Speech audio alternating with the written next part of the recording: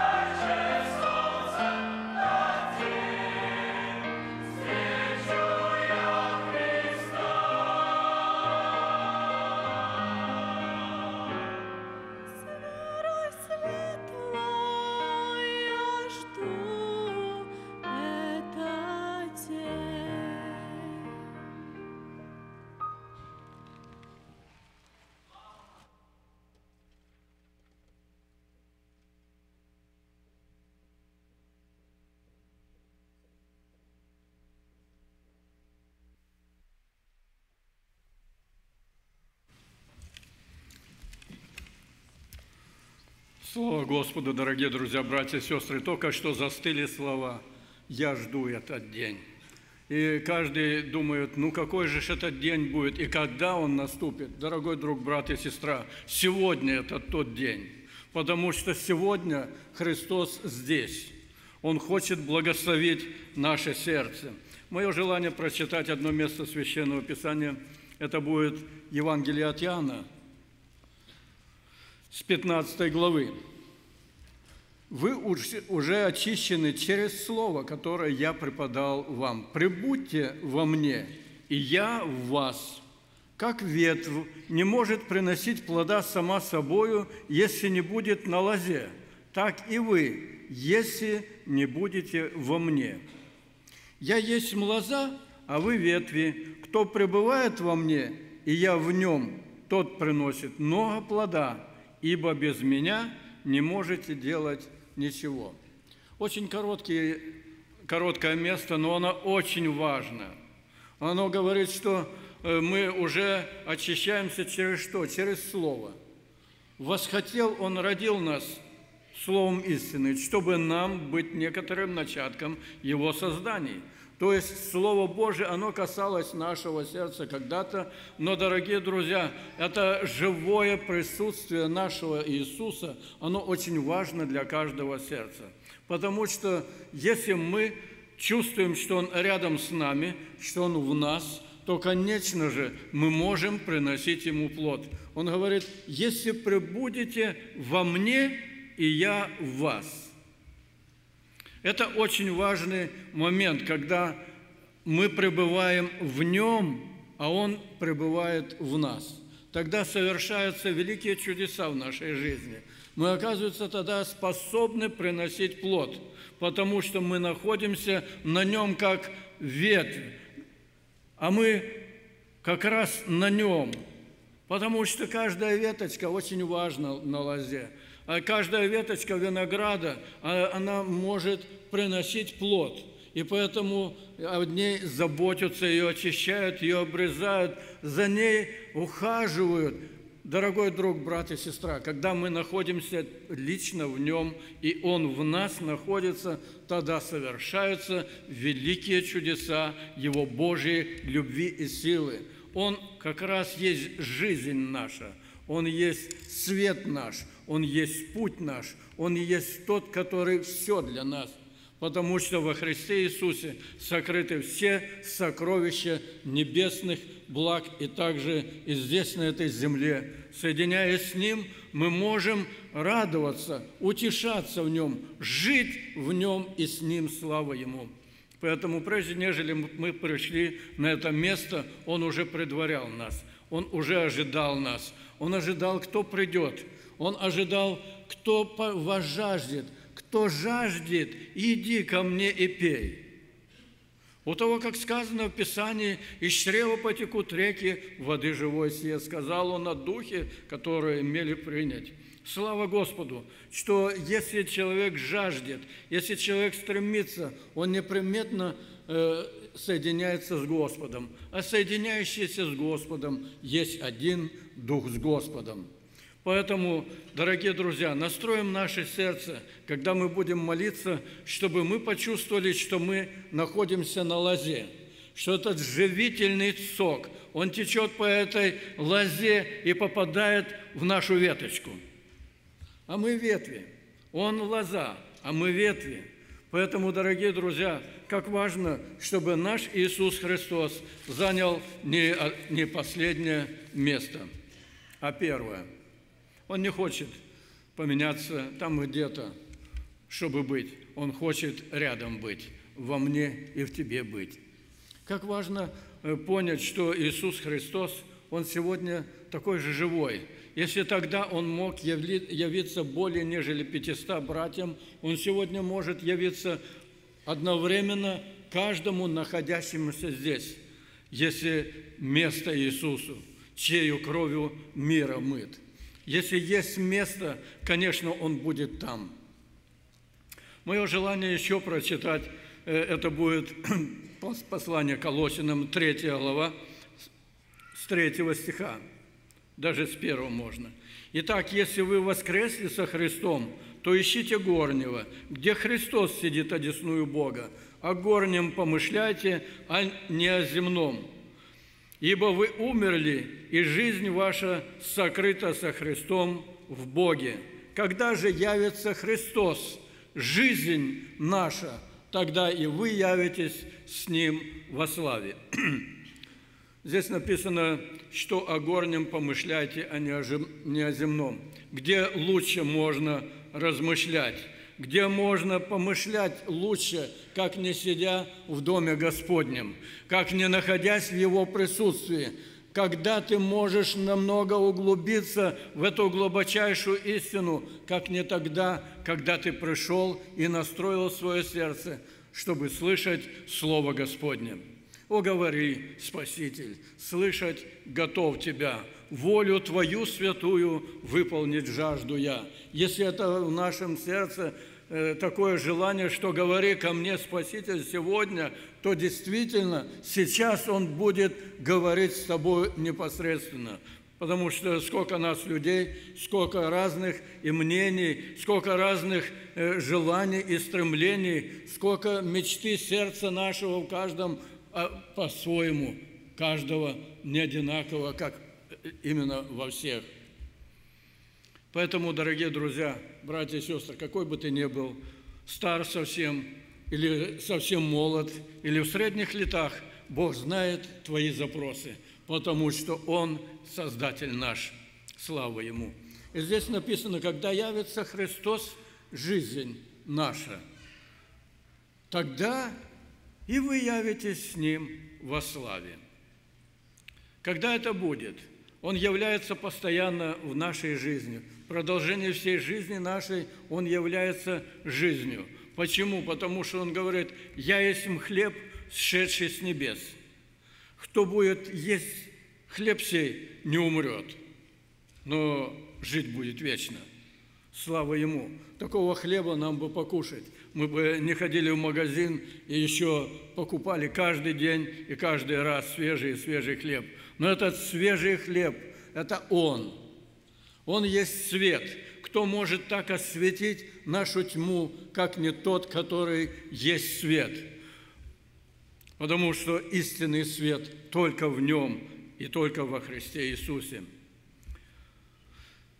Он есть путь наш, это доступ – к Отцу Небесному.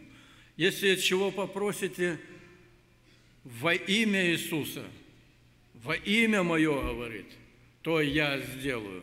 А у кого попросите? У Отца Небесного.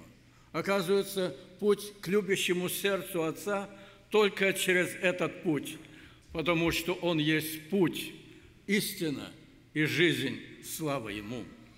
Если наше сердце настроено на такой лад, непременно – Господь будет с нами и в нас. Он есть первосвященник будущих благ. Он есть наш ходатай. Он есть наш посредник между Богом и человеком. Человек Христос Господь. Слава Ему, что Он занял такую позицию, что Он стал всем для нас. Не только тот, который агнец и был прибитый ко кресту и искупил нас кровью Своею, но Он стал для нас всем. Действительно, Он и агнец. Действительно, Его тело, Его кровь, она очень несет жизнь в нашу духовное естество, слава Ему. Но Он также и первосвященник. Первосвященник тот, тот, который приносил жертвы, тот, который ходатайствовал за народ израильский, в отдельности за каждого человека, так и Он является первосвященником будущих благ. Он защита наша, Он помощь наша, Он упование наше и надежда наша – и в эти слова, которые мы только что слышим и повторяем в нашем сердце, это не просто для красивых слов, это действительно так. Он есть все для нас. Он есть вода, живая, Он есть освежающий, Он есть спасающий, Он есть целитель наш, Он врач нас, слава Ему. Он спаситель, чтобы спасать. Он Христос Господь, тот, который силен каждого спасти и каждому помочь. И Он находится в нас. Я думаю, что и сейчас каждый чувствует, что к его сердцу подходит любящий Господь. И он говорит, все стою у двери и стучу. Если кто услышит и отворит, войду к нему и вечерю сотворю. Он будет вечерять, он будет как раз с тобой беседовать. Твой самый трудный вопрос, он хочет тебе ответить на него. У тебя есть нужда, он тот, который отвечает, потому что он муж скорбей, изведавший болезни, он целитель наш, он врач наш. Он приходит для того, чтобы имя Отца Небесного и имя Его было прославлено. Он прославленный где? В Церкви Святых, в твоей жизни. Он славится или бесславится. Если ты действительно живешь им и дышишь и существуешь, то, конечно же, ты славишь имя Всевышнего, слава Ему. Он пришел сюда, чтобы и царствовать. Если Он царствует в нашем духе, в нашем теле, если мы соединенные с Ним как одно целое, и мы питаемся от этой лозы, этим соком, то действительно мы будем всегда радостны и утешаться в Господе. И тогда Он приходит для того, чтобы благословлять. Он не только умер, но Он воскрес. И Он во веки веков желает одного – спасать грешников, спасать каждого человека, отвечать на молитвы, на чаяния и желания души человеческой, слава Ему. Он пришел для того, чтобы благословить нас. Мы благословленные во Христе Иисусе, Господе нашим. Поэтому, дорогие друзья, братья и сестры, находясь на этом месте и слыша эти слова, они касаются лично нашей внутренности – и поэтому я еще напомню, и когда же явится Христос, жизнь ваша, тогда и вы явитесь с Ним во славе. Мы очень хотим явиться во славе, правда? Там навеки вечные и находиться в славе Его. Но это необходимо, чтобы Он был в нас, а мы в Нем, чтобы была непосредственная связь Потому что как зачастую человек ходит, так и поступает, или делает, или говорит, как будто бы Бога и нету. Как будто бы Христос не видит, не слышит, не знает. Что-то сделал втихаря, ну и все пройдет, потому что никто из людей не знает. А Он тот, который в нас и живет в нас Духом Святым, Он все проникает и глубины Божии. Он проникает до разделения – души и духа, составов и мозгов, и судит помышления и намерения сердечные. Ему дадим отчет. Сейчас я хотел бы, чтобы, сознавая это величие и могущество нашего Господа Иисуса Христа, и тот, который рядом с нами, мы могли бы услышать, как Он стучит. Он стучит кротко. Он стучит ненавязчиво. Он стучит и хочет, чтобы ты услышал, услышала и открыла двери сердца своего. И он, он наполнит благодатью, потому что не мерую дает Бог Духа просящим у Него. Он ищет сердца жаждущие, Он ищет сердца те, которые хотели бы с Ним сегодня соединиться в одном духе. Да благословит Господь это собрание, да наполнится славой Его святого имени, чтобы и в проповедях, и в пениях, и в молитве мы могли переживать именно нахождение на этой лозе. И этот сок постоянно нас животворит. Не дай Бог, эта веточка отломалась, она моментально может завянуть, а потом и засохнуть. Нам очень важно держаться этой лозы. Да будет имя Господне благословенно. А сейчас мы преклоним колени наши и соединимся с нашим любящим Господом Иисусом Христом. Аминь.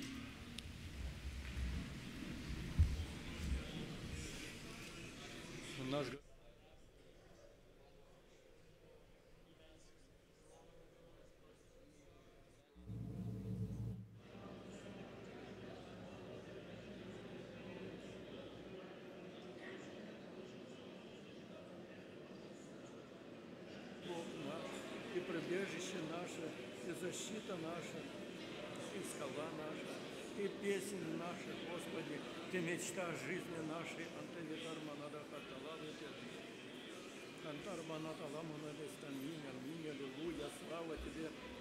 Мы только немного имен Твоих вспомнили, Господи, и то, Боже, душа наша восторгается к Тебе, Богу крепкому и живому.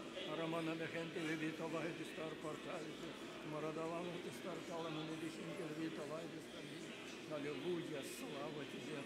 Слава Тебе, Боже, что Ты наш жаждущий можешь напоить Твоею благодатью, до избытка наполнить в Раве, Артаны Медигинте Левита Лайдис Каминь, и сделать это служение, Господи, непосредственной связью между Тобою, живым и святым Богом, и нами, Господи, и излить благодать Твою святую.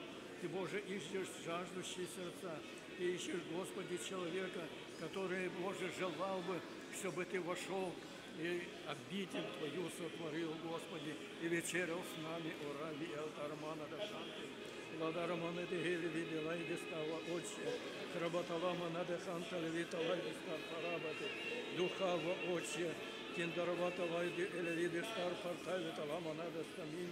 Мы исповедуем Тебя живого, живого в нашей жизни, живого в нашем Божьем общении, живого, Господи, среди святых Твоих, о Ава, Отче, Ты ходишь посреди семи светильников, Господи, Ты знаешь все, Боже, поэтому и к нашему сердцу подходишь с одним желанием, Боже, самым добрым намерением. Аллилуйя, слава Тебе, Артала Талама Нави, Канада Талви Делейди Стартар Талави Дастаминя Сана, слава Тебе, благословенно имя Твое. Аллилуйя, слава Тебе, наш Господь, дорогой, что Ты здесь. Веяние Твоего Святого Духа мы слышим, Господи. Ты рядом с нами. Ты стучишь каждое сердце для того, чтобы открыть, для того, чтобы вечерять с нами. О, слава Тебе! Слава Тебе, Боже, что Ты сделал совсем для нас. Ты сделался жизнью нам, Ты сделался воскресением для нас, Ты сделался ходатаем нашим. Аллилуйя, слава Тебе! Слава Тебе, что Ты прибежище наше, что Ты защита наша, Ты скала наша, на которую мы, Боже, возлагаем всю надежду и упование. Слава Тебе! Слава Тебе, Боже, что Ты мечта наша, Господи, и желание нашего сердца быть с Тобою навеки вечные в небесах. Поэтому, Господи, как Ты царствуешь над нами и в нас на этой земле, так будет и в небесах. Аллилуйя! Слава Тебе! Поэтому я прошу Тебя, благослови, пожалуйста, и наполни, Боже, сердце каждого Твоими чувствованиями, Твоими желаниями, Твоей благодатью, Господи. Дух Святой да трудится, Господи, в каждом сердце. Благослови продолжение этого собрания, проповеди, молитвы, Господи, песнопения и все, что будет на, на этом месте, да будет оно помазано Духом Твоим Святым и Твоим присутствием. Да будет имя Твое превознесенно, потому что Ты живой, и мы живы Тобой, и движемся, и существуем, и уповаем, и надеемся на Тебя, и вера наша, и надежда да не постыдится. Тебе единому слава, честь Тебе поклонение, великий наш благословенный Бог, Отец и Сын и Дух Святой. Аминь. Братья и сестры, давайте вместе вставшие споем «Церковь Господа, а Ты невеста у Христа». И мы просто в этом псалме воспоем Ему и прославим Его.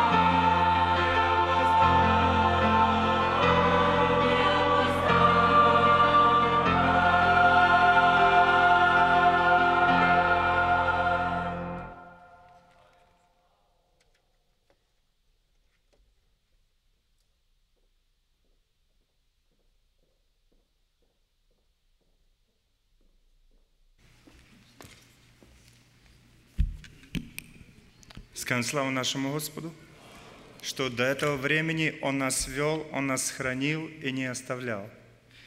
Я очень рад услышать, что вы благодарны Богу, и все сказали «Слава Богу» дружно. Я хотел сегодня поразмышлять именно на одну интересную тему – о благодарности и неблагодарности. Оно очень между собой связано.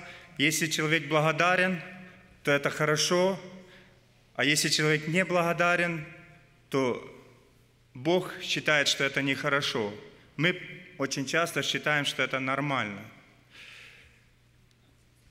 Мы часто слышим просьбы, чтобы кто-то нас поддержал в молитве. Мы часто слышим, чтобы кто-то стал проломе за нас, чтобы кто-то постоял, чтобы кто-то помолился. Но не всегда, когда даже те люди помолились за нас, не всегда мы приходим и говорим им благодарность. Это у нас привычка такая, и по временам говорят время такое, и по-разному говорят, но все-таки Писание совсем по-другому смотрит на эти вещи. Я прочитаю из книги Левита, 7 глава, с 11 стиха. «Вот закон о жертве мирной, который приносят Господу, есть, если кто в благодарность приносит ее, то при жертве благодарности он должен принести пресные хлебы, смешанные с елеем, и пресные лепешки, помазанные елеем, и пшеничную муку, напитанную елеем, хлебы, смешанные с елеем, кроме лепешек, пусть он приносит приношение свое квасный хлеб при мирной жертве благодарной. Одно что-нибудь из всего приношения своего пусть принесет он в возношении Господу, это принадлежит священнику, кропящему кровью мирной жертвы, мясо мирной жертвы благодарности должно съесть в день приношения ее, не должно оставлять ее до утра. Что интересно, настолько щепетильно и точно описывалось о жертве мирной, о жертве благодарности. Там была жертва за грех, жертва э, за повинность и другие но именно за жертву благодарности тоже очень щепетильно. То есть это не, не то, что мы можем делать, когда хотим, а мы должны быть благодарны, и это должно быть частью нашей жизни. Человек должен быть благодарным. Если так все, все разъяснять, то это очень, как говорится, торжественное в то время, была очень торжественная жертва благодарности. То есть люди много радовались, когда приносили жертву благодарности. И я бы хотел бы, чтобы мы это тоже в своей жизни э, приняли по-настоящему. Во-первых, что Библия нам повелевает, что мы должны Бога благодарить. Если вы читали псалмы, то настолько много мест или стихов в псалмах о благодарности, что не перечислить их – но я могу несколько повторить 74.1. «Славим Тебя, Боже, славим, ибо близко, ибо, ибо близко имя Твое, возвещает чудеса Твои. Славим, благодарим». И оно так вот такими разными, э, как говорится, синонимами, синонимами упоминается благодарность Богу. Если так взять, то не осталось оно где-то позади – в Новом Завете о благодарности очень много пишется. Самый известный стих о благодарности пишется, это 1 Фессалоникийцам, я думаю, что все могут даже наизусть это сказать, 5 глава, 16 стих. «Всегда радуйтесь, непрестанно молитесь, за все благодарите, ибо такова у вас воля Божья во Христе Иисусе». Э, есть, э, ну, есть еще перевод, который говорит «во всем благодарите», ну, по-разному переводят, но именно что всегда и за все благодарите в любых обстоятельствах, которые у вас в жизни есть, должны мы благодарить Бога. И можно сказать, по временам, когда трудное время в жизни, то мы даже не знаем, что Богу сказать. Э, но один, один человек мне сказал интересную мысль, говорит, что у меня есть видео, у меня на компьютере, говорит, о человеке, который без рук и без ног – и говорит, когда я начинаю слишком много не, быть неблагодарным, я просто включаю и просмотрю это видео, и сразу у меня уже есть за что благодарить Бога. То есть, можно сказать, мы можем по временам не заметить то, что мы на Бога говорим неправильные вещи, мы обижаемся на Бога, но у нас всегда есть за что благодарить Бога. Все, что мы переживаем в жизни, любые трудности, они, это, как говорится, это моменты испытания, но у нас все равно есть за что благодарить Бога. Если бы начать перечисливать, то список будет очень длинный, за что мы можем благодарить Бога. Во-первых, что Дух Святой живет в сердце нашем. Просто простыми словами. Если бы не Дух Святой, который живет в сердце нашем, мы не смогли бы быть вводимы на каждом шагу. Правда, есть люди, которые Дух Святой угошают, но Он есть у нас. И если так вот перечислять за все, за здоровье и за все, что у нас есть, то можно хвалить Бога и благодарить Его с дня на день и не останавливаться, потому что Он достоин славы и Он велик. И когда мы, как говорится, охватываемся своей проблемой или тем, чем мы, как говорится, переживаем в данный момент, мы оставляем Бога в стороне и не говорим Ему благодарность. Мы можем по-разному благодарить Бога. Мы можем петь, мы можем э, просто сказать слова благодарности. Мы можем по-разному, э, как говорится, почувствовать Его и сказать Ему, благодарю Тебя, что Ты есть Бог, который ведешь. Но я бы хотел бы, чтобы мы просто стали людьми, которые все-таки благодарят. Я еще буду говорить о неблагодарности, но, во-первых, хочу сказать, почему мы мало слышим благодарность. На самом ли деле Бог поменялся? На самом ли деле что-то настолько больше сейчас происходит в жизни каждого человека, что он не может за это благодарить Бога? Или, может быть, мы присытились уже своим хорошим состоянием, и у нас уже настолько все хорошо, что мы уже даже не находим, что сказать Богу. То есть что-то внутри нас есть, что мы не можем выразить благодарность Богу. Что-то есть, что мы должны найти в себе, почему я не хочу сказать Богу благодарность. И я бы хотел бы слышать, чтобы сколько мы слышим нужд и просьб, чтобы мы столько же и слышали благодарности Богу э, за малейшие вещи, которые мы по временам просто не ценим. Мы должны просто воздавать славу Богу. Я хочу еще поговорить за неблагодарность. Почему это очень важно? Потому что все, что связано с неблагодарностью, оно идет к своему концу. Оно имеет свои последствия. И если мы неблагодарны, это не просто нейтральная ситуация, это на самом деле идет на разрушение в нашей жизни. Иисус однажды сказал, что если они умолкнут, то камни возопьют. Вы когда-нибудь размышляли над этим местом Писания? Это когда Иисус въезжал в Иерусалим, и священники укоряли его, что там хвалу возносят ему.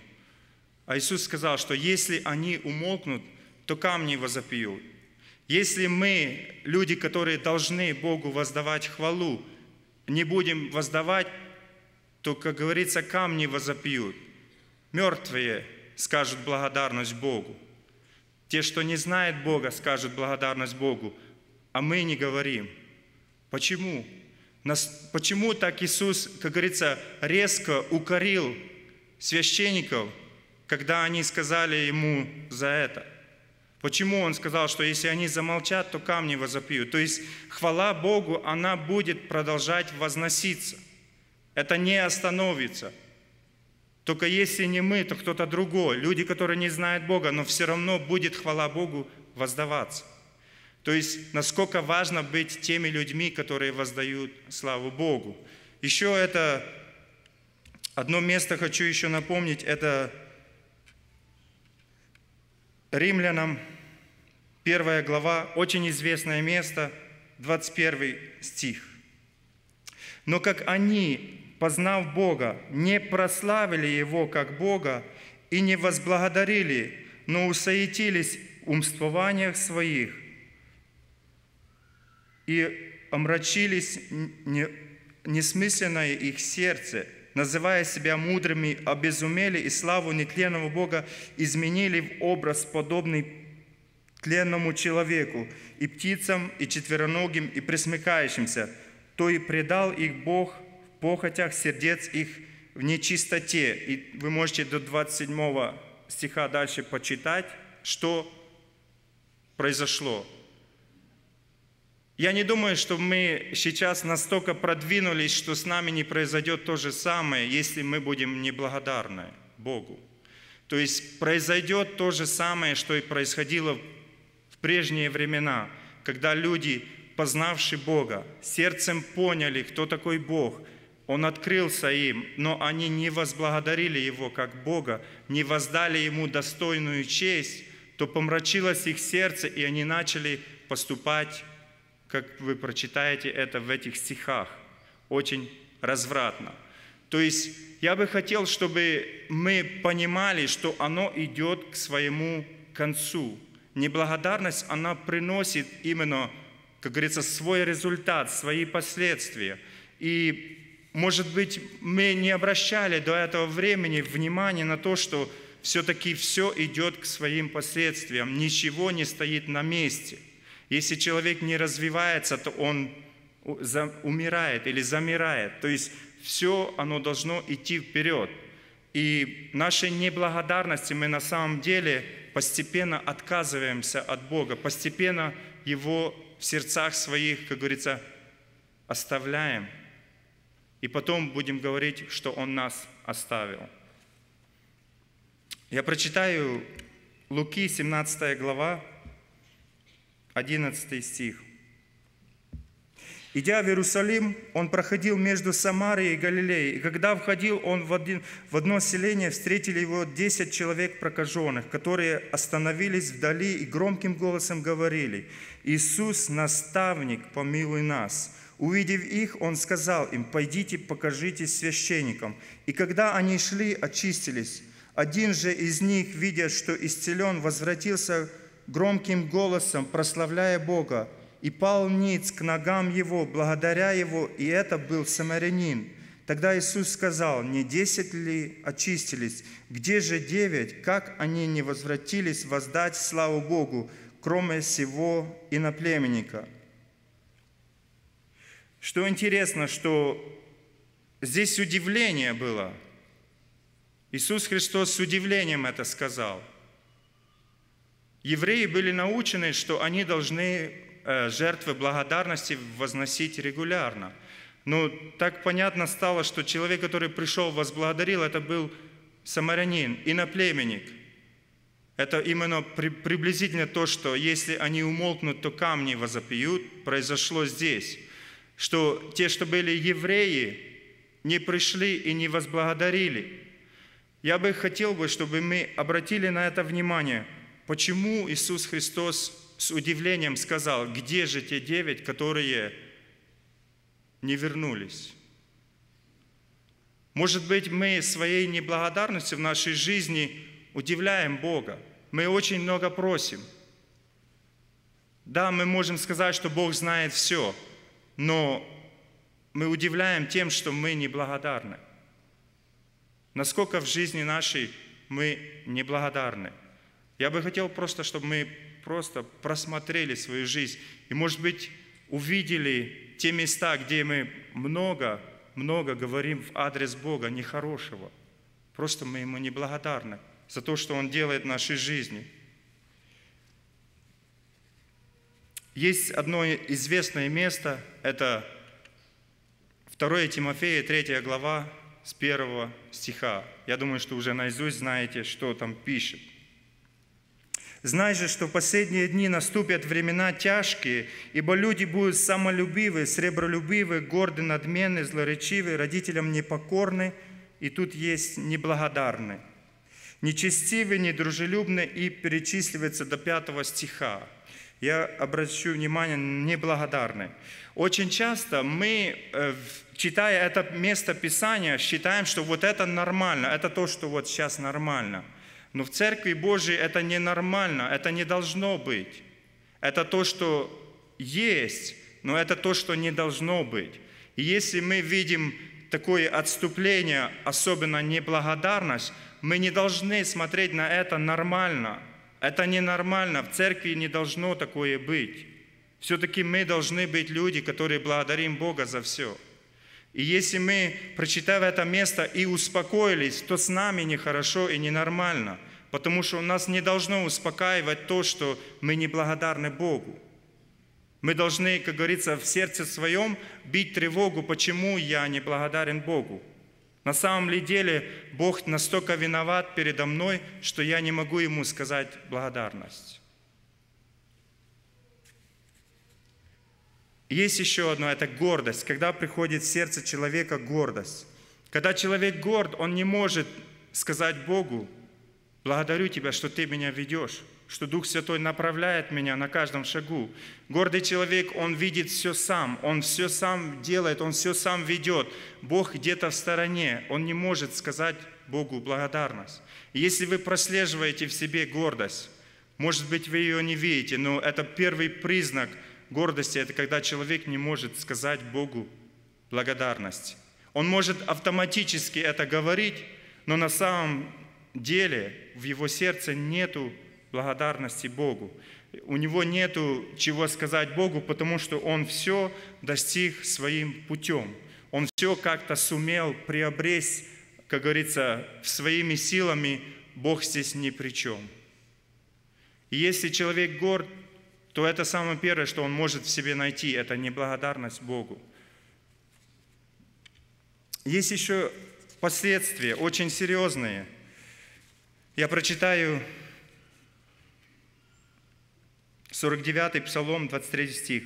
«Кто приносит в жертву хвалу, тот чтит меня, и кто наблюдает за путем своим, тому явлю я спасение Божие». То есть, когда человек благодарен Богу, то ему открывается еще и путь спасения. Вот это и есть, как говорится, сам последний, как говорится, корень того, что если человек не благодарен, для него, может быть, путь спасения уже закрыт.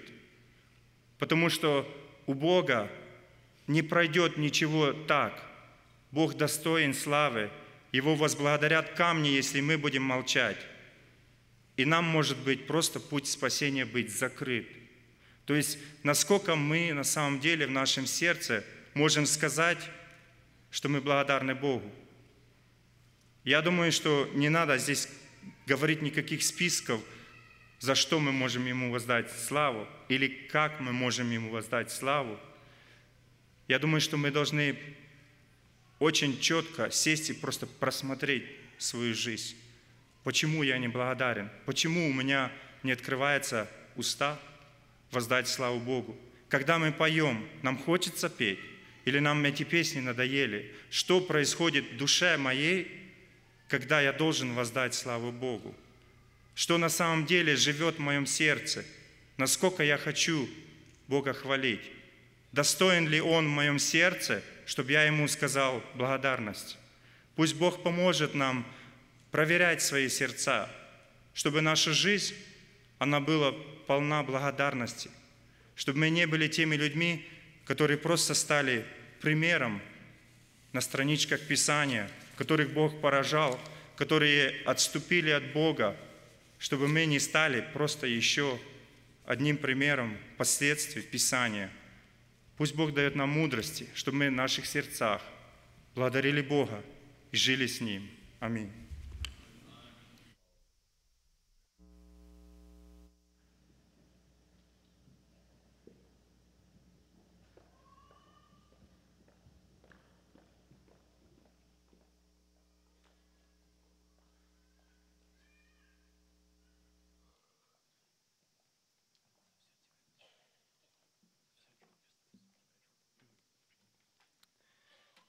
братья и сестры, сейчас во время общего пения будет материальное служение, то давайте вместе, вставший споем «За все Тебя, Господь, я благодарю».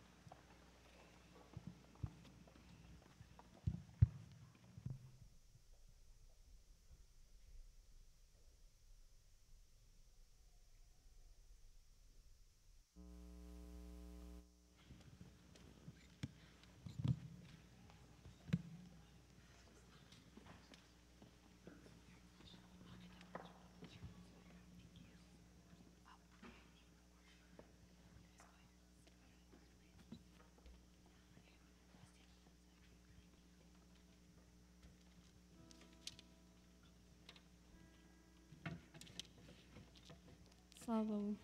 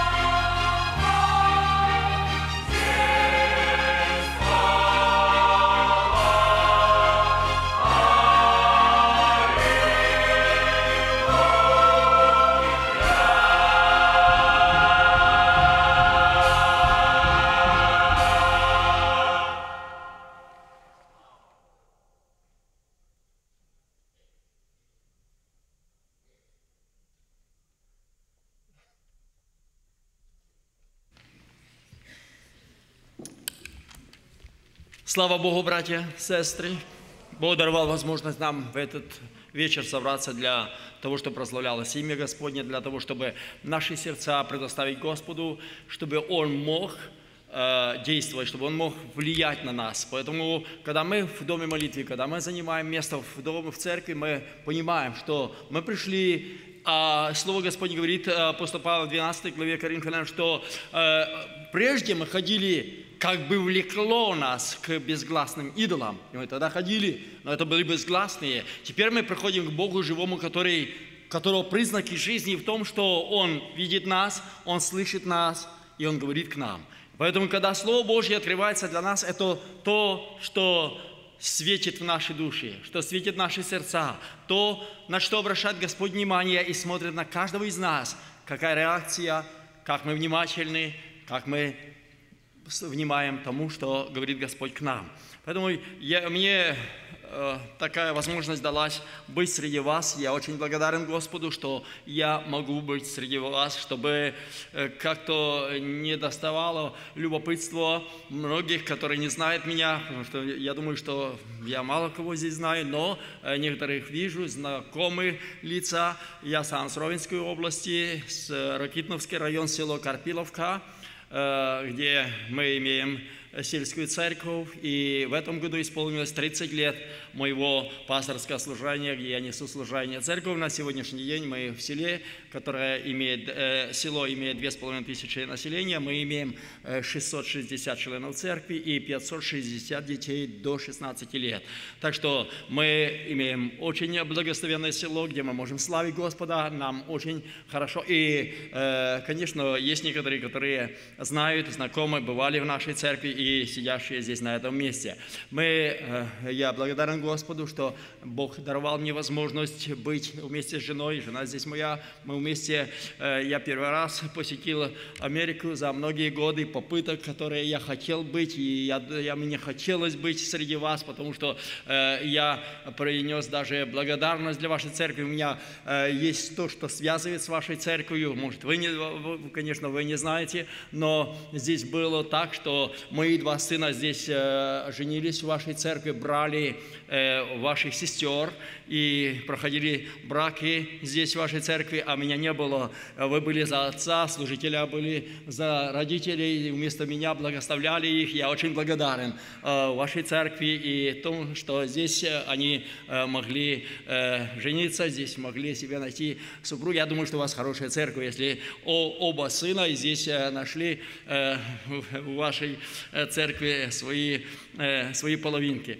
Так что пусть Бог благословит и воздаст, воздаст вам э, вас, вашей щедрой рукой. Меня зовут Владимир э, Брычка. Если кто мог слышать по, по фамилии, можете больше где-то слышать, что э, Владимир Брычка. Я несу сегодня еще, и, кроме того, э, служение старшего пресвитера по Житомирской области. Я имею семью свою, которая состоит из э, Бог даровал нам шесть дочерей и шесть сыновей. Мы вместе можем славить Господа. Кроме того, за годы нашей жизни Бог даровал нам возможность еще иметь опе- попечение о дв- о двоих круглых сиротах. И они присоединились к нашей семье. Мы благодарны Господу за все то, что Бог где провел нас. И мы в этом благодарны.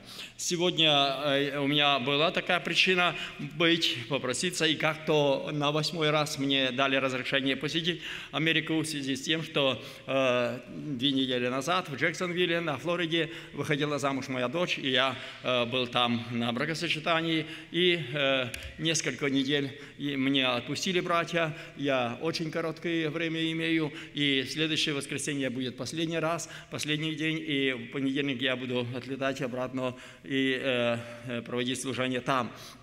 Но я благодарен Господу за, за сегодняшнее наше служение здесь. Бог э, сегодня учил нас к тому, чтобы мы остались благодарными, чтобы мы благодарили Бога, чтобы в нас в сердце оставалось это чувство благодарности. Благодарность это, конечно, мы понимаем. Это не просто сказать дякую там, или благодарю тебя. Это не просто слово, которое сказать. Это состояние души.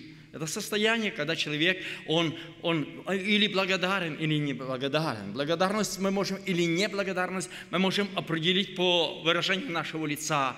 По нашему отношению, по нашим делам, по нашим поступкам. По чем видно, мы благодарны или неблагодарны. Мы можем благодарить и красиво э, словами вы- выразить э, и сказать, но, но делать свое. Мы знаем из Писания двоих сыновей, которых сказал, отец э, э, надеялся на них и посила- по- давал им задание, а один из них сказал, да, хорошо, господин, да, будет так. Но он не сделал того. Другой же сказал, нет, я не пойду. Но он обдумал, он посмотрел и, и сделал. И поэтому э, вот это отношение как раз и ставит нас в положение, мы благодарны или не благодарны Господу. Одно из первых слов, которые прозвучали в вашей церкви, когда я услышал от молодого брата, который начинал, э, э, подводил нас к песне, он говорил нам о том, чтобы мы взыскали, взыскали Господа, и это меня тронуло. Это у меня слово одно «взыскать».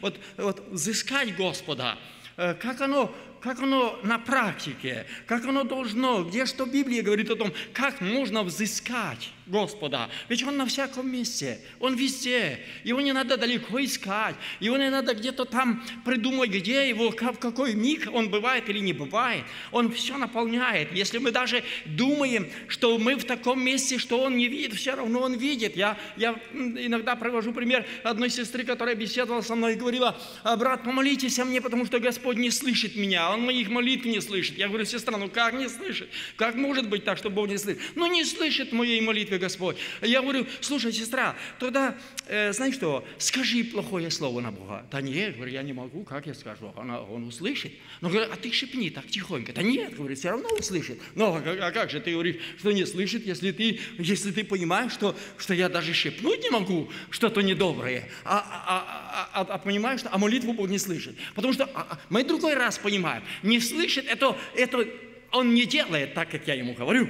Я, я, я хочу, что, чтобы так было. Он пусть мне сразу. И у нас другой раз Бог, как, э, знаете, как заказ. Сделал и раз, чтобы было. Или даже и церковь. Другой раз мы ставим положение, как стол заказов. Мы, мы можем благодарить и только так, запиской. Знаете, написать записку или заявить. Я это вижу другой раз в своей церкви. И я иногда это говорю, потому что оно мне как-то э, тревожит о том, что другой раз люди, ну, как, как стол заказов. Братья и сестры, поблагодарите за меня, Господи. Даже не скажет, какая нужда. Поблагодарите. Я хочу поблагодарить Бога. Знаете, бывает так, в конце служения говорит, я хочу поблагодарить Бога. А из только что встали из благодарной молитвы, только что э, подводил брат и благодарили, и она встает, говорит, я хочу поблагодарить. А что ты делала, стояла сейчас только на, на, на коленях? Что делала? Можно было благодарить, можно было славить Господа. И даже после молитвы, если старшие верующие, которые, я не знаю, как в вашей церкви, но те, которые э, вы из церкви, с Украины, вы знаете, как было, что в, раньше время было, что пастор или служитель, который приведет к молитве, он подведет к молитве,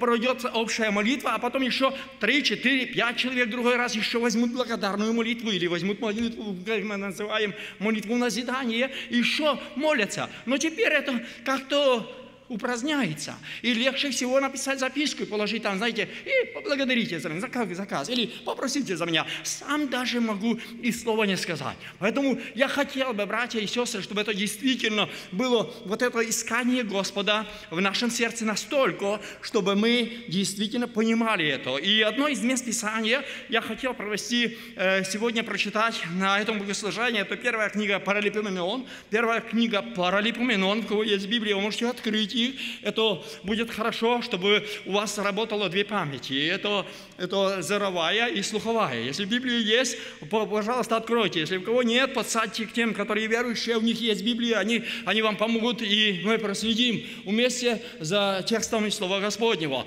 Э, Первая книга Паралипоменон, с- э, 15 глава, оно должно быть в вашей Библии обязательно. Первая книга Паралипоменон, 15 глава и 11 стих, и ниже я буду читать такие слова.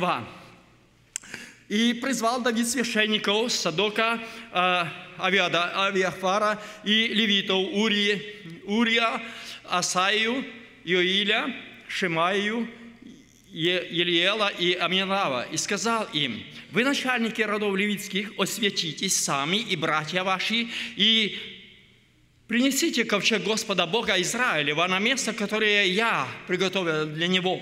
Ибо как прежде вы, не вы это делали, то Господь Бог наш поразил нас за то, что мы не взыскали его как должно. и осветили священники и левиты для того, чтобы нести ковчег Господа Бога Израилева. Я хотел обратить внимание, братья и сестры, на это слово, которое я услышал, и оно меня немножко тронуло, и сразу меня перевело, я имел другую немножко тему, и перевело на это, на эту мысль. Они, говорит Давид, он исследовал, вы знакомые, кто читает Библию, знаете это место Писания, когда они уже попытку сделали одну, они э, пришли, когда, э, помните, что был ковчег Господень забранный в Израиле, его не было с ними, филистимляне забрали его, и потом э, он им там был проблемой, они имели проблемы с этим ковчегом, они не знали, куда девать, они его в храм своего Бога, э, он там потом и остался, это их Бог, идол, без э, рук, без ног, без головы, и они, и они не знали, это проблемы имели, они перенесли в другое место, там было болезни, они, они другое место хотели, а эти жители восстали и, и стали плакать, сразу кричать, что зачем нам проблемы, А и, и они видели, что им куда с этим ковчегом деваться. Они, они э, решили, э, не знали, как поступить, они новую колесницу построили, коров запрягли и поставили их на эту колесницу, Она- они мычали, Библия говорит, но повезли его в Израиль. И в Израиле была большая радость, что прибыл ковчег, это присутствие Господне, это то, что наполняло, это что вдохновляло их, это то, к чему, чем, чему, чего они держались и чем они утешались. И оно, оно возвратилось, присутствие Господне, там было присутствие Господне. И когда они, э, он находился в доме Аминадава, там много лет, около 20 лет, может больше 20 лет, он находился, этот ковчег, в доме этого э, священника.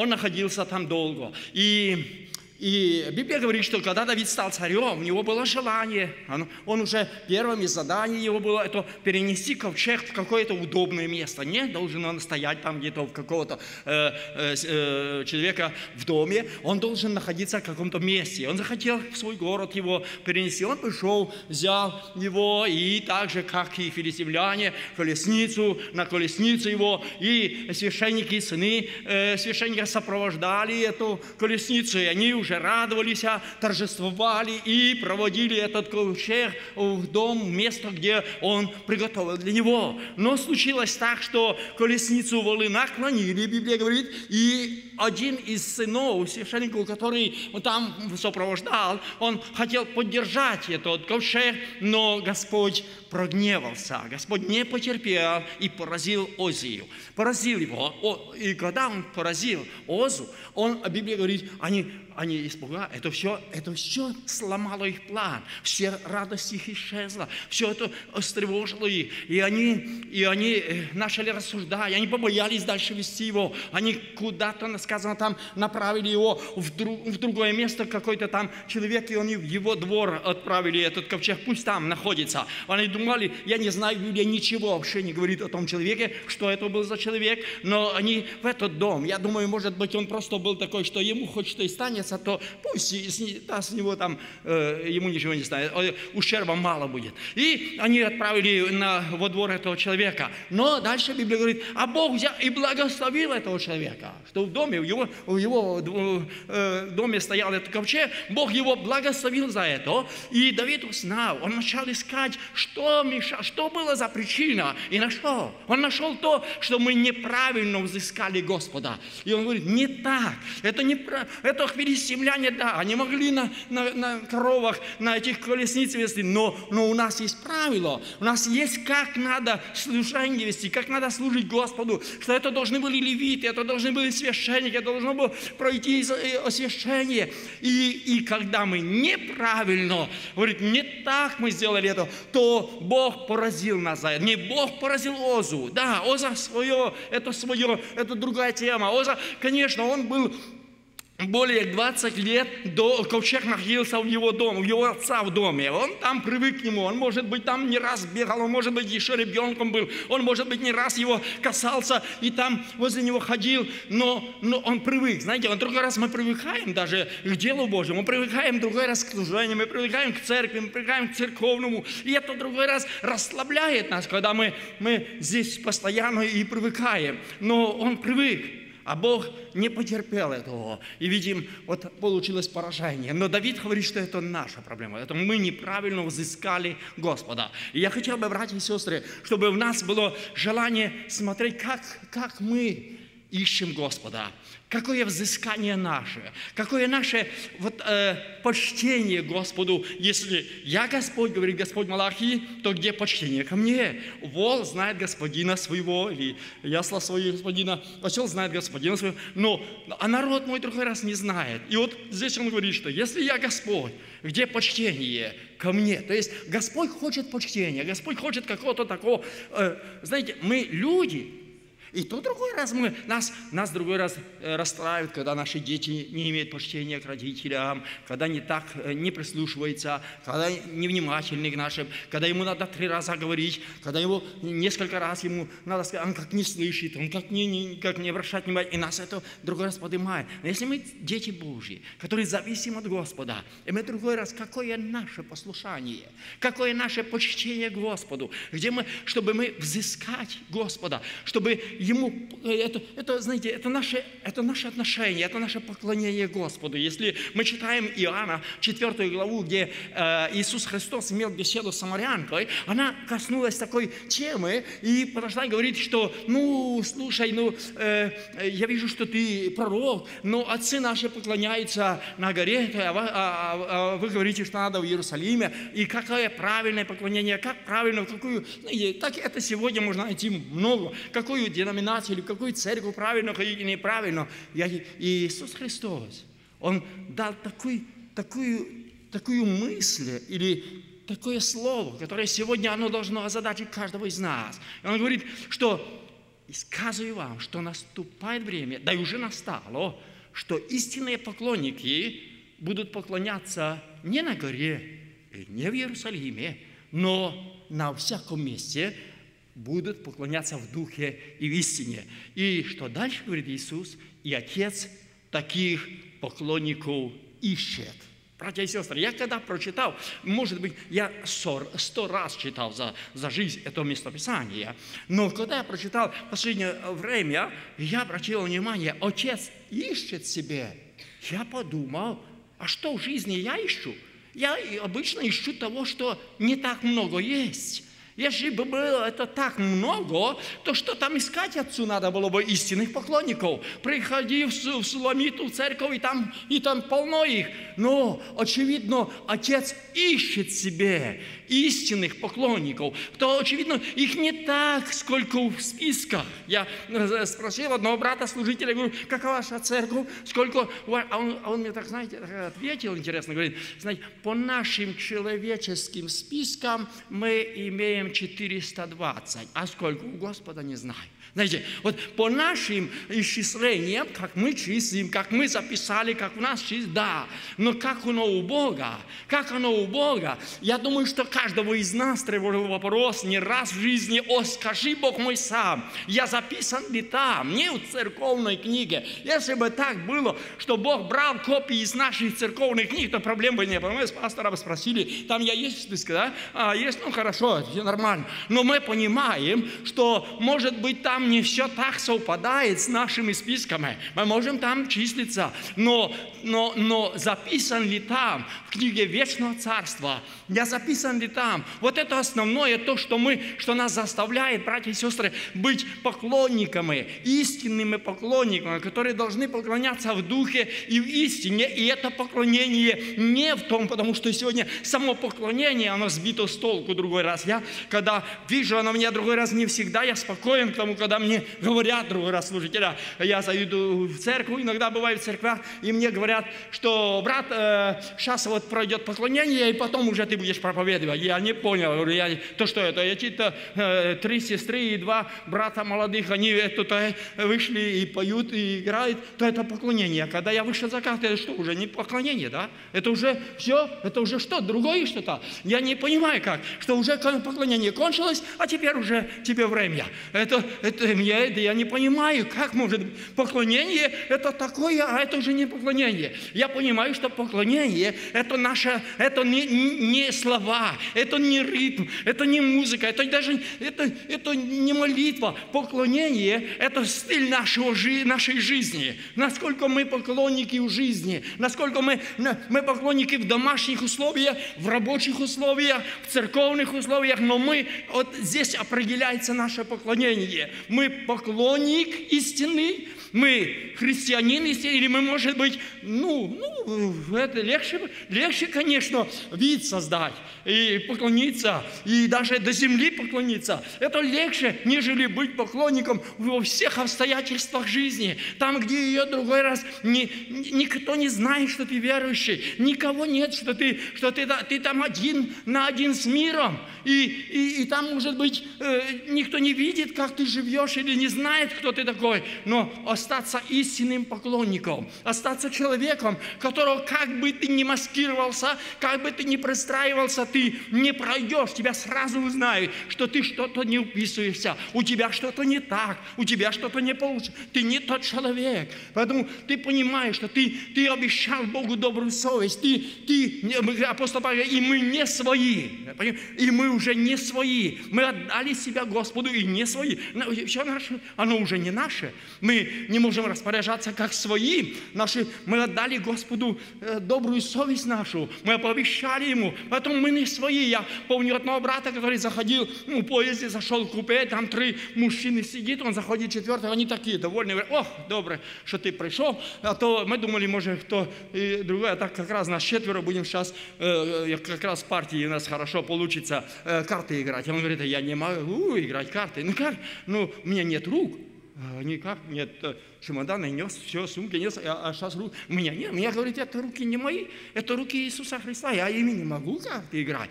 И у них завязался разговор, у них начала беседа, и они за- заинтересовало, и как это не имеет руки не свои, да, они не свои. Мы, э, Библия говорит, чтобы мы, чтобы мы не предавали членов наших в орудие греха, в то, что грех, что, что неправильно. Мы должны не то, что, не то, что ага, в собрании мы, да, мы поем, мы держим песенники, может быть, Библию держим, а, а- а- а на работе, а, а в дома, мы, может быть, другие.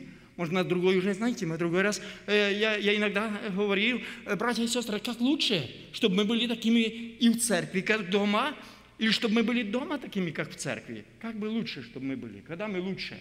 Когда в дома или когда в церкви? И, конечно, я слышал об одном брате, где жена его слушала, его проповедь слушала, он так красиво говорил, он так красиво наставлял. И она говорит, знаешь, брат, на него э, муж, э, к мужу говорит, знаешь, я- я бы не против, чтобы мы в церкви жили. Ты такой в церкви хороший, ты так хорошо говоришь, я бы согласна лучше в церкви жить с тобой, чем, чем дома. Потому что мы иногда можем быть другими. Одни в собрании одни, одно из русских стихотворений говорит, а если мы только в собрании умыльны, а выйдем в собрание как светские люди, то у нас не знать христианской породы. Мы тогда сбиваем с толку людей. Люди видят, ну так, и знаете, из Библии там есть одно местописание, где, где сын завел в, в обман э, своего отца, и он, и, он, и он не видел, глаза его не видели, а он начал ощупывать его и говорит, не понял, ну голос-то как бы Якова, а руки Исава. Братья, сестры, это не, не редко случается, что как бы по голосу, ну, ну как Яков, ну все у него как у верующего, все как, как, а руки совсем не, не, не, не Якова, совсем другие. Как посмотри на его действия, как посмотришь на его поведенку, как посмотришь, вообще Исау. И то настоящий Исау. И, и у него все Исау. Поэтому я хотел бы, братья, чтобы Бог помог нам оставаться на всяком месте поклонниками истинными. Потому что Отец ищет таких поклонников. То есть на всяком месте. Это везде, где бы мы находились, мы остаемся. Пусть обстоятельства жизни, а или пусть другой раз ситуация, а она, а она и невыгодна мне, чтобы там остаться христианином, остаться верным. Но мы обещали Богу. Мы обещали, каждый из нас начинал с обещания. Каждый из нас свою христианскую э, жизнь начинали с обещания Богу доброй совести. И эта совесть, она должна быть сохранена, если в нас правильное отношение к Богу, если у нас правильное поклонение, у нас правильная жизнь, домашняя, если у нас правильное поклонение, если правильно поклоняешься Богу, у тебя правильное отношение э, мужа и жены. Если ты правильный поклонник, у тебя хорошие отношения, правильные между э, детьми и родителями. Если ты истинный поклонник, у тебя хорошие отношения со служителями и в церкви со всеми братьями и сестрами. Если ты истинный поклонник, у тебя порядок с соседами э, и, и по работе, и по месту жительства. У тебя есть порядок, у тебя везде видно, что ты есть истинный поклонник, потому что апостол Павел говорит, что вы письмо Христово всеми читаемое и узнаваемое. Вы хоть бы хотели скрыться. Я, я не раз привожу пример апостола Петра, который в то время, когда, когда ему было трудно, когда, когда он думал о себе, что он сильный, что он все-таки говорил, когда Христос сказал ему, что, что, э, что в эту ночь вы все соблазнитесь, а мне говорит, что я не, а, они да, может быть, они да, и они, э, если они все даже, но не я, говорит, я не. Говорит, да ты, если прежде, нежели э, э, Петрух запоет дважды, то ты трижды отречешься. Э, э, Иисус говорит, он да, не может, он, я да я на смерть, я в тюрьму, я куда хочешь согласен с тобой. И тут же, и тут же он оказывается в ситуации, где не пришел какой-то военачальник, не какой-то первосвященник, не какой-то там э, кто-то э, власть имеющий. Пришла какая-то служанка. Может, ей она девушка какая молодая совсем. И она говорит, слушай, да ты тоже из них. Ты, ты из них. Она его, откуда она его знала? Говорит, знаешь, у тебя даже речь не такая. Ты, он, может быть, маскировался, он сел возле них, возле их костра, он вместе с ними был. Но если ты верующий, если ты христианин, если ты укусил благо, ты не упишешься в их коллектив. Ты будешь там пробовать маскировать, но у тебя не получится. Тебя все равно узнает даже простая, э, простой человек какой-то. Скажет, что-то ты не из нашей команды. Ты не, у тебя не та речь, у тебя не те слова, у тебя не то, потому что ты вкусил дара э, Божьего, ты, ты знал Господа, ты давал обед служить Господу. Поэтому, когда мы пришли к Богу, мы должны этим дорожить и пронести это наше поклонение, это наше служение, это, на, это то, что принадлежит Господу, то, что мы пообещали Ему, и мы не свои, а Господни. Я хотел бы, братья и сестры, чтобы каждый из нас, мы просто сами для себя могли понять, что Господь хочет нашего искреннего поклонения. Ему не нужно, нужно притворство, ему нужно красивых слов, длинных молитв, очень гласных молитв, знаете, таких громогласных или еще. Ему нужно искренность, то есть то, что в сердце, то он, он там смотрит на, на сердце. И когда мы читаем вторая книга Паралипоменон, там говорится, 16.9 где говорится о том, что очи Господни обозревают всю землю, чтобы поддерживать тех, чье сердце полностью предано Господу. Иногда молодежь нам поют песню, и у нас поют, а может, и у вас поют, поют или пели раньше, что я не хочу полуправды, я не хочу полуцели. Я другой раз говорю, ну, а если 90% правды, а, а 10 нет, это нормально или нет? Да не получает. Богу не надо даже 95 правды, а 5 неправд. Богу нужно все сердце, полностью, когда оно предано Господу. Мы люди, и те хотим, и те заглядываем в сердце. Молодые парни, которые влюбляются, они хотят, они хотят знать, что там в сердце, куда ее сердце. И я говорил иногда, говорю, у нас много молодежи, я другой раз говорю, слушайте, проходите, приезжайте, можете у нас в нашей церкви брать сестер, я вам могу предложить очень хорошую сестру в нашей церкви, она богатая, она, она э, красивая, она умеет все шить и работать, она в селе э, такая рабочая, все. Одна проблема ее маленькая есть, она любит другого. И, и все. И уже она, я не хочу, я, если у нее сердце не со мной, это же мы люди, и то хотим, как, да зачем она мне сдалась, если ее сердце к другому, а я, а то, что она у нее, и она может, это мне вообще второстепенное. Да? А как с Богом? Как Богу? Если, если у нас есть если мы заигрываем, с другим, если у нас есть симпатия куда-то к другому, к миру всему, к тому, что мирское, и мы так, и, и вроде и к Богу хотим, но и, и там нравится, и то как-то нравится, и тому начинаем подражать, и что-то там практиковать в жизни, и все это, и это другое, и, и опять к Господу хотим, и опять хотим к Богу, братья и сестры.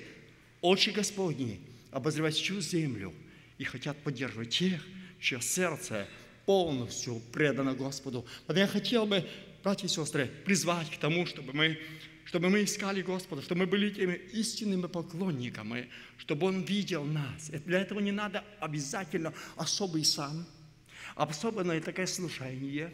Знаете, это не надо, чтобы, чтобы э, особенно уже какой-то там погоны иметь в церкви или, или э, какой-то там сан служения или что. Это надо искренность. Это надо искренность. Я когда, э, мне приходилось три раза, э, три года подряд, последний я, мне пришлось посещать Индию. И когда я первый раз ехал, я немножко об Индии э, хотел знать, что там, и, и, и нашел информацию об одной э, такой женщине, которая там была, и э, и она, я, я не знал, я слышал о ней кое-что, но я знал, что она полтора метра всего была роста и, и 48 килограмм веса. И, и она была сиротой с 8 лет, она была простой учительницей, и Бог заговорил к ней, чтобы она ехала на миссионерство в Индию, и, и к концу э, уже э, 20 столетия к ней в очередь записывались президенты, э, э, премьер-министры, корреспонденты в очередь, чтобы она могла уделить хоть несколько минут э,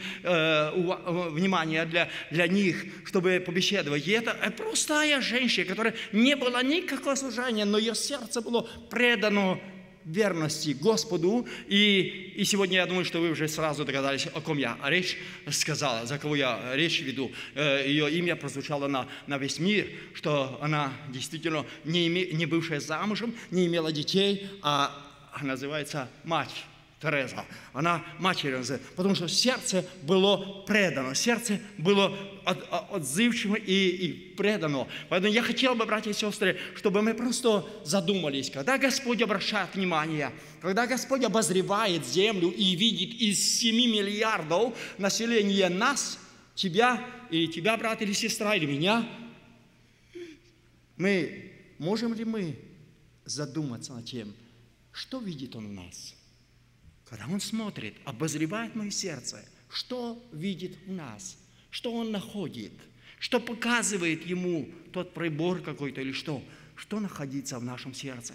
Пусть Бог поможет нам, братья и сестры, чтобы мы более всего хранимого, Библия говорит, храни сердце свое, храни сердце свое. Потому что Иисус Христос высказался в Евангелии Марка. Если мы читаем Евангелие Марка, 11, 7 глава. Мы читаем Евангелие Марка, 7 глава, можете открыть это местописание, и я буду заканчивать. Это э, одно- э, место, где Иисус Христос говорит, что «Ибо», 21 стих э, описывает так, и 22. «Ибо изнутри, из сердца человеческого исходят злые помыслы, прелюбодеяния, любодеяния, убийства, кражи, лихоимство, злоба, коварство, непотребство, завистливое око, богохульство, гордость и безумство. Все это зло изнутрь исходит и оскверняет человека. Братья и сестры, оно там другой раз крадется, оно там другой раз находится. И когда я другой раз делаешь за- замечание и то или брату, или сестре, что как это ты так сказал, как, как ты так говоришь, как ты высказал такое. Говорит, брат, извините, я вылетела, я не хотел, оно вылетело. Я, а знаете, я сельский человек, я в селе живу, у меня, у меня есть сарай, у меня есть там животные, но никогда у меня, если я открою сарай, никогда оттуда ничего не вылетит, там того, чего нету. Знаете, оно никогда не выйдет.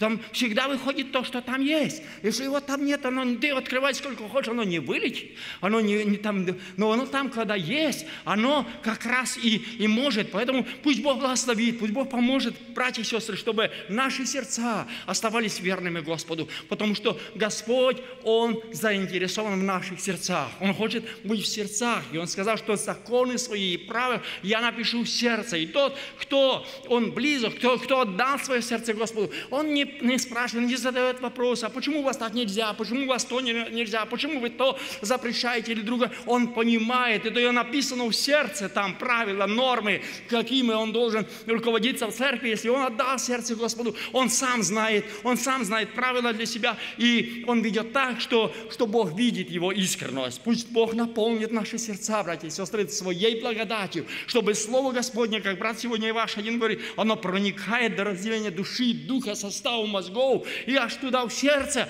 проникает, до разделения души, духа, состава мозгов, судит намерения и помышления сердечные. Так что дадим возможность, чтобы оно судило нас, чтобы оно могло судить. Мы приходим до молитвы для того, чтобы дать возможность Слову Господнему. Пусть судит нас Бог. Не брата, ни, никакая польза мне будет, если я скажу, что о, хорошая проповедь была сегодня для Петра, о, хорошая для Ва- Вали или для другого. Да, а мне что от того? Но пусть Бог поможет, чтобы мы могли заглянуть в наше сердце, чтобы мы могли на себя посмотреть. Мы часто можем на другого э, э, как-то ссылаться, кому-то вино- вин- винить того или другого. А как с нами дело обстоит? Я когда э, прочитаю, читаю это местописание, где Иисус Христос сказал, что один из вас, дьявол, скажи, один из вас предаст меня, я, знаете, у них был спор между собой раньше, кто из них будет больше.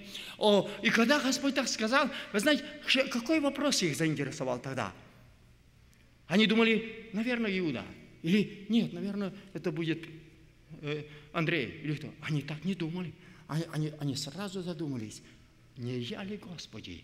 Не я ли Господи? Если бы так, братья и сестры, было, я другой раз думаю так, если бы мы услышали голос Божий, действительно, чтобы Господь сказал, нас здесь несколько сотен человек, да? Но чтобы мы действительно услышали голос Божий, что Господь сказал, что один из вас живет неправильной жизнью, и может скоро пролиться гнев мой на него. Чтобы мы задумались, мы бы искали где-то он, который-то он. Я думаю, мы так не искали. Мы тогда думали, Господи, не я ли это? Не я ли? Чтобы не пришло поражение. Пусть Бог благословит, братья и сестры, чтобы мы оказывались искренними христианами. Мы будем благодарить Господа. Склоняемся и благодарим Господа. Аминь. О, наш небесный Господь и наш пастырь добрый, к Тебе идем с благодарностью, с благодарностью, хвалой. Тебе идем, Господь, поклоненной славы, радости и утешения. К Тебе идем, Господь, и нам очень хочется славить Тебя и благодарить Тебя, потому что Ты есть добрый Бог. Твоя милость есть э, над нами, Твоя любовь есть над нами. Слава Тебе, Господь, что Ты даровал нам возможность и право сегодня быть в церкви, быть на этом месте, быть среди народа Твоего. Слава Тебе, Иисус. Аллилуйя. Парала бережь штамена глария. Хава очь, аллилуйя. Кем провала ребили штауригения. Дамен глэри самене провалался, ребили штамелия. Бог наш Царь, Ты умер за нас, Ты постраждал, за- Ты выпил до дна чашу страждания и скорби. Ты выпил до дна, Господь, и дал нам сегодня чашу спасения. Ты дал нам сегодня, Господь, такое служение, где мы не унываем, где мы возможность имеем слушать Слово Твое, где Ты можешь говорить нашему сердцу, где Ты можешь касаться нас, где Ты можешь учить нас, где Ты можешь наставлять нас, где Ты можешь обличать нас, где Ты можешь поднимать нас. Господь, я славлю Тебя, что милость Твоя, она над нами, и поэтому, Господь, мы представляем себя для Тебя, для Слова Твоего, и хотим, чтобы Ты действовал в нас, чтобы Ты, Господь, очищал, чтобы Ты нас производил на свою работу и помог нам, каждому нам вести свою работу, вести работу над собой, над своим сердцем, над своим состоянием и возрастать духовно. Господь, я прошу Тебя, поддержи, кто упал, кто, Господи, ослаб, кто в ком ослабели силы и богоискание. Ты, Господь, который силен поддержать и поднять. Поэтому укрепи в вере, укрепи в благодати, укрепи силой Духа Святого, и пусть благословение Твое рекою прольется на каждого из нас. Мы так нуждаемся в Тебе, мы так нуждаемся, Господь, в Твоей благодати, в Твоей силе, и просим, благослови нас в этот момент. Аллилуйя. Аллилуйя. Hallelujah. Hallelujah. Hallelujah. Papa Washe, Gimine Gloria. Hallelujah. Rimine Staun again. Hallelujah. Dulce te. Papa Washe. Papa Washe. Hallelujah. mine. Аллилуйя, наш Бог.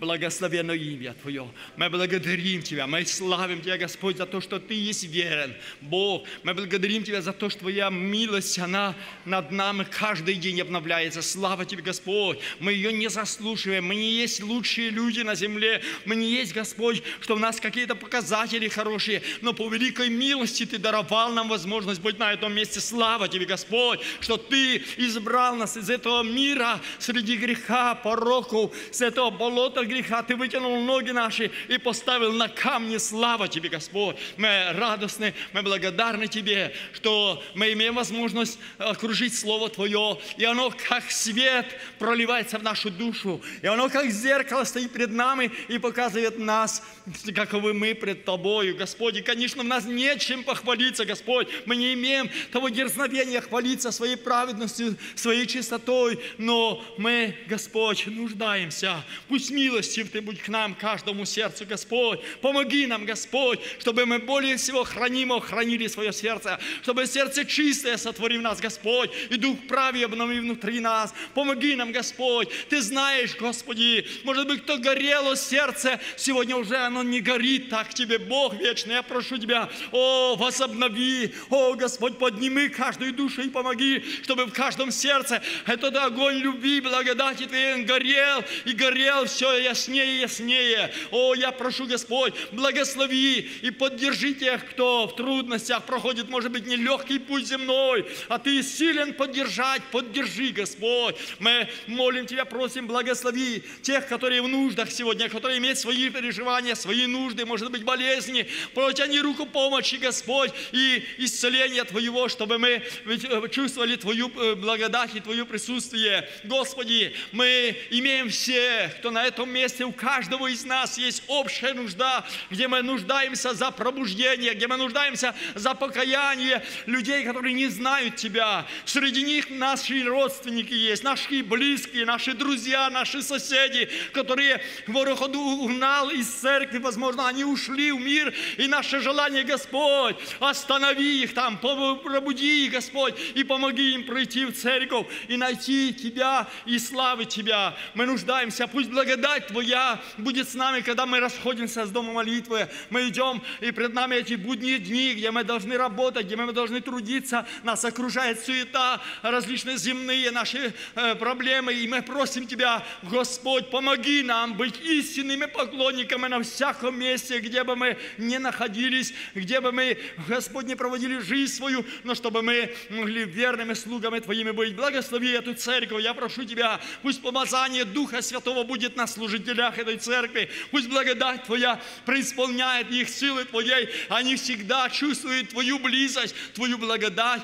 и Твое присутствие. Пусть голос Твой звучит всегда в этой церкви для них, как наставление, как поучение, и они всегда э, могли, имели возможность приближаться к Тебе. Да будет имя Твое благословенно, и в этот час вечерний. Мы благодарим Тебя, мы славим Тебя, мы утешаемся Тобою, и нам приятно, когда Ты с нами. Слава Тебе, Господь! Пусть не умолкает никогда, и пусть наша слава, она будет не только на этом месте, но на всяком месте, где мы находимся, что мы благодарны Тебе были, потому что Ты достойный славы, чести, хвалы и благодарности, Отец, Сын и Дух Святой. Аминь. Отче наш, сущий на небеса, да святится имя Твое, да придет царствие Твое, да будет воля Твоя и на земле, как на небе. Хлеб наш насущный подавай нам на каждый день, и прости нам долги наши, как и мы прощаем должникам нашим. И не введи нас в искушение, но избави нас от лукавого, ибо Твое есть царство, сила и слава веки. Аминь. Братья и сестры, я пользуюсь минутой времени, что я здесь за кафедрой, я хочу передать привет от нашей Арпиловской церкви, а также от церквей Житомирской области. Пусть вас Бог благословит. Прошу. Спасибо за приветы от нас передавать. Просим взаимно. Слава нашему Господу, друзья. Очень хороший вечер, хорошее служение, прекрасное слово. И э, вы знаете, вот с самого начала и вот до самого конца я слушаю и слушал, и с удовольствием э, принимаю эти замечательные наставления, которые Господь через уста братьев передает. И когда э, Иосиф проповедовал о благо, значит, благодарности, насколько важна для Господа благодарность. Кто приносит в жертву хвалу, было прочитано, тот чтит меня, и тот э, тому явлю, явлю спасение Божие. И я подумал о том, и, наверное, вы тоже думаете неоднократно об этом, что, в общем-то, ничего так не стоит дешево для человека, как выразить благодарность. За это деньги не надо платить. За это не надо какие-то там еще э, э, дела большие делать. Просто поблагодарить. И в то же время настолько, настолько другой раз это трудно. Даже бывает, вы, друзья, давайте, ну, вот за это служение, или там, допустим, кто-то хорошее слово сказал, стихотворение. Ну, у нас так принято, мы не аплодируем, вот, но мы призываем к тому, чтобы выразить за это благодарность даже не человеку, а Богу. И при этом говорим «Слава Господу!» И смотришь, брат Николай в этом вот усердствует, Фокша, вот он сидит, там еще несколько, Витя Дышнюк иногда, вот, ну, несколько человек. А ведь все-таки это ж не трудно, да? А вот, оказывается, не так-то просто выдавить из себя вот это «Слава Господу за труд и служение наших братьев и сестер». Ну, а вообще-то, как брат сказал, это образ жизни. Это образ жизни, именно благодарное сердце. Э, Конечно, друзья, за то, что Бог вообще сделал для нас, вот, ну, даже речи нет. Но когда я вот слушал проповедь э, значит, брата Иосифа, и ну, как-то подумал за это, что на самом деле есть такая даже песня или стихотворение, что э, ой, все, что в жизни самое прекрасное, не ценою денег покупается. И там дальше автор значит, перечисляет, что даром нам светит солнце ясное, луна нам даром улыбается и так дальше. И э, вот когда-то давно уже читал, что мы живем э, значит, ну, на нашей планете Земля, вот думаем ли мы об этом? Вот, вот на данном этапе, вот, что атакуют оттуда, с космоса, миллиарды э, метеоритов, которые падают на Землю. И если бы один мог достичь, вот, то беспрепятственно Земли, то он на- нанес бы колоссальный ущерб. Но они сгорают вот в этом воздушном океане, океане атмосферы. Мы живем на глубине этого океана, воздушного океана, 200 миль глубиной. И вот это все вот эти небесные тела, которые летят на эту землю, ученые говорят, они сгорают в атмосфере. Мы видим эти падающие звезды, эти значит, э, следы от этого. Бог позаботился о том, чтобы мы были в безопасности. За что ему слава? Но мы об этом не думаем. Мы об этом не думаем. Где-то там что-то, какие-то силы держат эту планету. Она несется с огромной скоростью в этом э, космическом пространстве. Вот, вращается с огромной скоростью вокруг своей оси, вокруг Солнца. А мы об этом ну там же что-то, оно же там его двигает. Все это могучая рука, его законы, которые он контролирует, которые он создал. Все это, значит, э, интересно, даже читал, что мы, э, мы вот думаем, что мы дышим. Мы- ну вот я сказал, вы уже подумали. Но на самом деле мы каждую, наверное, не знаю, не считал, но секунду мы дышим, вдыхаем кислород, выдыхаем углекислый газ. И если бы вот так дышали, и Бог не позаботился о том, чтобы уровень кислорода, вот 23 его вроде там процента находится, чтобы он не поддерживался растительным, Бог так сделал, вы люди, животные, дышите поглощаете кислород, выдыхаете уголь. Но а кто, куда же будет, где же он будет браться? Так он позаботился о том, чтобы растительный мир сделал наоборот, питался углекислым газом, а выделял кислород, чтобы поддерживать вот этот уровень его, чтобы все живое продолжало. И это, и это на протяжении вот тысячи лет, в котором мы думаем об этом? Нет, мы не думаем. Нас раздражает, тревожит, какая-то где-то там на работе что-то не получилось, где-то там сосед что-то там э, э, какой-то там что-то передвинул, что-то там вылил. И все это такое, и все это раздражает, и все это волнует, тревожит. Отношения с близкими родными. И мы не задумываем, что огромная забота Бога проявлена для нас даже просто в физическом мире. На этой маленькой планете Земля, на которой, ну, для нас она огромная, но по отношению э, значит, с космосом. Очень маленькая, это пылинка во Вселенной. И вся эта забота Бога, так мало того, что Он так позаботился об этом, друзья, вот, чтобы мы имели хлеб, имели воздух, которым дышим, тепло солнечное, которое нас согревает и помогает, воду, без, без которой никак жизни нет, так Он еще посылает своего Сына в этот мир, и который умирает на Голговском кресте в страшных муках, чтобы обеспечить нам не просто эту жизнь, которая 70-80 лет, Он это сделал уже, обеспечить нам вечность обеспечить нам бессмертие. И вот перед лицом вот этого дела Божия, какими должны быть казаться наши мелочные обиды, какие-то наши претензии, какие-то наши оскорбления, недовольства и прочее, прочее. И как должно, вот наша должна благодарность вытеснить вот это все то, что не нравится Господу, да не только Господу. Возьмите, вот человек недоволен в обществе, Недоволен, недоволен, ну послушали раз, послушали второй, третий раз, а потом никто не хочет с ним дело иметь, потому что вот только вечно вот э, у него какие-то претензии ко всем и прочее. Возьмите в семье, то же самое дело. Вот. Но как приятны те люди, которые благодарны. С ними хочется общаться, с ними хочется иметь дело, вот, потому что они довольны. Они довольны, довольны жильем, они довольны теми средствами, которые они там, может быть, пособие какое-то получают, они довольны хлебом насущным, они довольны церковью, они довольны, они довольны жизнью вечной, Господом. И это так естественно и так нормально. Мне очень понравился пример, который брат Владимир привел, э, как сестра говорит о том, что э, не слышит, наверное, меня Господь, молюсь, молюсь, а не слышит. И он говорит, что ну, ну то скажи плохое слово на Бога. Как? Ну то хоть подумай плохое на Бога. Нет, страшно, Бог услышит. Значит, здесь Он слышит, а когда молишься, когда благодаришь Бога, когда Ему поклоняешься, наверное, Он не слышит. Какой парадокс? Может ли такое быть? Конечно, не может.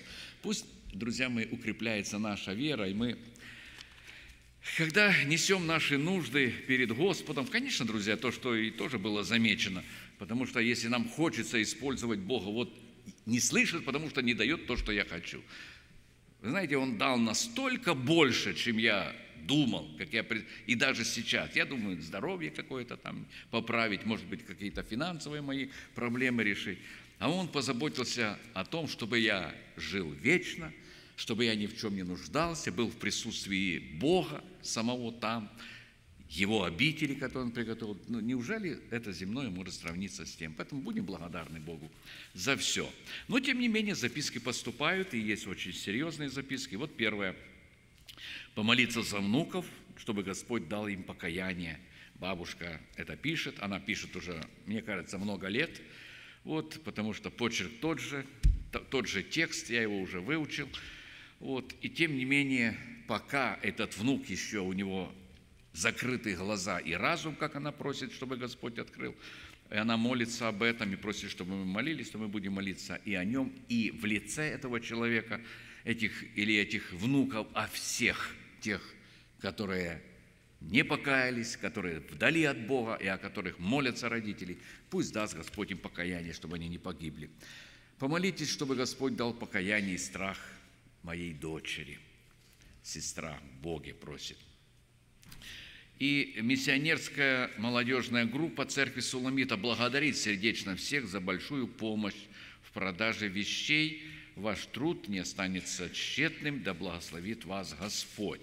Мы знаем, что они продавали эти вещи, они собираются в поездки миссионерские, пусть э, ну, нужны средства, они таким образом подрабатывают. Дорогие братья и сестры, если кто забыл вещи на подростковом, детском или молодежном кемпах, то вещи находятся у, в боковом входе в церковь, у бокового входа в церковь с левой стороны, когда заезжаете в церковь под навесом. Это получается, если оттуда заезжать, значит, с левой стороны, да? Там, да? Под навесом. Заберите их, спасибо. Ну и если вы, друзья мои, расположены что-то выделить на служение нашего брата Владимира, который скоро уедет, он у нас первый раз, то вы можете также это сделать, туда опустив ящички э, на выходе из церкви. вашу лепту. Ну а сейчас давайте помолимся, поблагодарим Го- Бога за этот замечательный день и об этих нуждах. Дорогой наш Небесный Отец, мы очень благодарны Тебе за Сына Твоего нашего Господа и Спасителя Иисуса Христа. Мы благодарны Тебе, Господь, за то, что Ты подарил нам этот день. Ты, Господи, говорил к нашему сердцу. Ты призываешь нас быть благодарными и искать Тебя всем сердцем своим. Ты, Господи, говорил нам о том, что Ты слышишь наши молитвы. Ты знаешь наши боли, наши переживания. Ты, Господи, желаешь видеть благодарность с наших сердец, которую бы мы всегда выражали в молитве нашей, в нашем служении, в нашем хождении ежедневном. Поэтому дай нам принять это, Господи, наставление к сердцу и практиковать его в нашей жизни. Благослови, Господь дорогой, Твой народ, Твою церковь, голубицу, суламиту благослови. Мы будем расходиться, но у нас еще эти нужды, Господь, и мы молимся о тех, кто еще не покаялся, кому еще закрыто, Господь, и кто не желает ответить на Твое приглашение, на Твой зов спасительной протянутой руки, Господь. Поэтому дай покаяние, открой глаза и останови на гибельных путях. А также, милосердный Господь, благослови наших всех братьев и сестер, которые страдают и физически, болеют, находятся на одрах болезней, в больницах или дома на, на- на постелях своих. Яви Твое исцеление. Если готовишь кого-то к переходу, Господь, потому что так устроены мы, что мы должны оставить эту землю, то Ты благослови переход наших братьев, сестер, пожилых, преклонного возраста, чтобы это было безболезненно, мирно и тихо. Благослови также, Господь, наших друзей в других каких-то проблемах, то ли это финансовые, то ли это с работами какие-то проблемы, то ли это семейные проблемы. Господь, взаимоотношения между мужьями, женами, детьми, родителями, тоже в этом всем будь нам в помощь. Тебе же за все да будет хвала и за этот вечер наш Бог, Отец и Дух Святой. Аминь. Благодать Господа нашего Иисуса Христа и любовь Бога Отца и общение Святого Духа со всеми нами. Аминь.